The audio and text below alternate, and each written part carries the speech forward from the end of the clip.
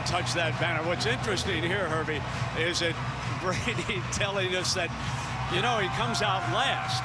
And he said, I miss all the pomp and circumstance. When I was an assistant coach, I used to see the band come on.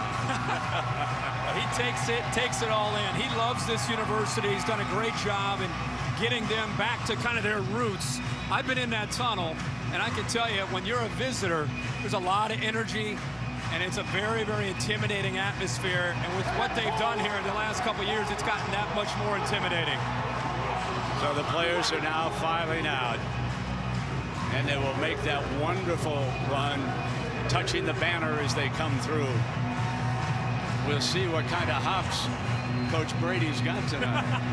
I know he's going to get up and hit it. I know he's got it in. Here they come.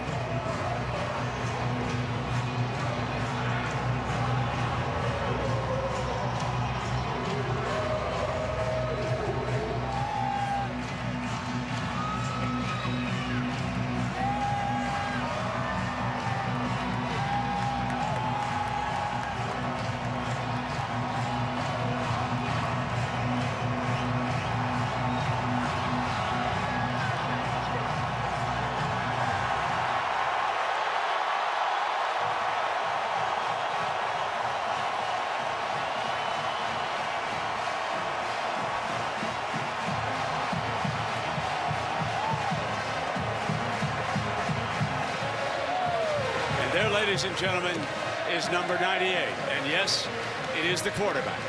Devin Gardner gave up number 12 because he was honored by wearing Tom Harmon's famous 98 here tonight.